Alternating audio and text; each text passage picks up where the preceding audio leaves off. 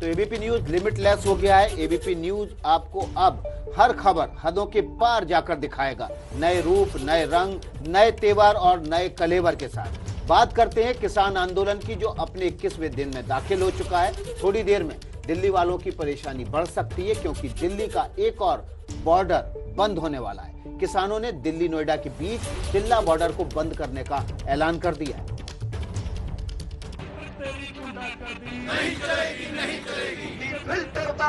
ਅਸੀਂ ਪਾਣੀ ਬੀਤੇ ਵੇ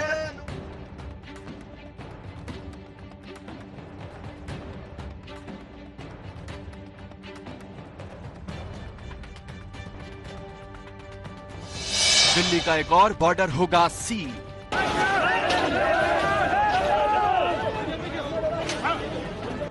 नोएडा दिल्ली जाने वालों की बढ़ेगी मुश्किल फूट के बाद किसान आंदोलन के तेवर अब और कड़े हो गए हैं। महज चार दिन खुलने के बाद अब एक बार फिर दिल्ली नोएडा का सबसे अहम बॉर्डर बंद कर देंगे किसान। ये वही चिल्ला बॉर्डर है जिस पर बैठे किसानों के धड़े ने राजनाथ सिंह से मिलने के बाद आंदोलन वापस ले लिया था। लेकिन अब उन्हीं के दूसरे धड़े ने फिर से मोर्चा संभालने का फैसला ले लिया है।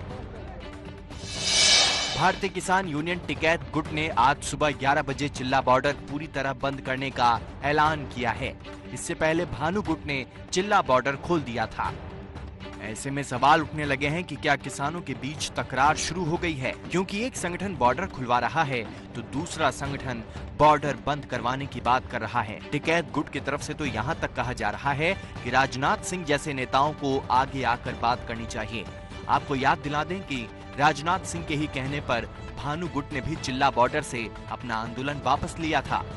किसानों का मूड भाग है सरकार और अच्छे लोग जो हैं जैसे राजनाथ सिंह जो किसानों की बात जाने उनको आगे आना चाहिए और इन काले कानूनों को रद्द करके एक सशक्त बिल बनावे किसानों के लिए। इस बीच कृषि बिल का समर्थन कर रहे किसान संगठनों का किसानों से मिलने का सिलसिला भी लगातार जारी है।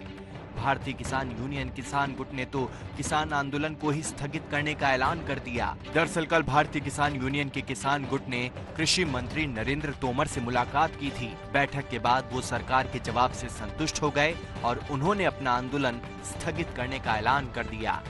खुशी की बात हमको ये लगी कि एक चीज़, कोई व्यक्ति अपनी सुई बेचता है तो अपना तय करता है मूल्य। कोई जैकेट बेचता है तो तय करता है और अगर कोई पैकेट भी छोटे छोटे बना लेता है ना आम की आम के या मान लो आंवले के तो वो भी अपने रेट तय करता है। जो किसान तय नहीं कर पाता था पिछले अनेक वर्षों से आज किसान अपने उत्पादन का मूल्य तय कर सकेगा हमें सरकार का हमें समर्थन करना चाहिए। किसान गुट के आंदोलन वापस लेने की खबर सरकार के लिए बड़ी राहत देने वाली है। भारतीय किसान यूनियन के सभी राष्ट्रीय और प्रादेशिक पदाधिकारी उत्तर प्रदेश से यहाँ आए हुए हैं और उन्होंने इन तीनों कृषि सुधार बिलों का बहुत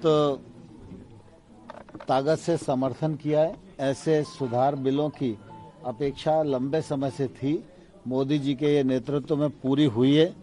कई जगह किसान कुछ भ्रम फैला रहे हैं और इसलिए इन लोगों के मन में भी भ्रम था। हालाँकि किसान नेता बार बार कह रहे हैं कि कानून का समर्थन कर रहे नेता उनके साथ कभी जुड़े ही नहीं थे। आ, उनका इस आंदोलन में कोई अहम रोल भी नहीं रहा। वो जो कर रहे हैं वो अपनी मर्ज़ी से उनका निजी फैसला है और इस आंदोलन से उनका कोई ताल्लुक नहीं है।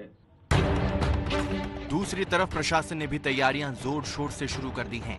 दिल्ली के बॉर्डर पर सुरक्षा व्यवस्था बढ़ाई जा रही है। वैसे भी दिल्ली के सभी बॉर्डर की ऐसी घेराबंदी पहले कभी नहीं देखी गई। दिल्ली के लगभग सभी बॉर्डर से आवाजाही ठप है।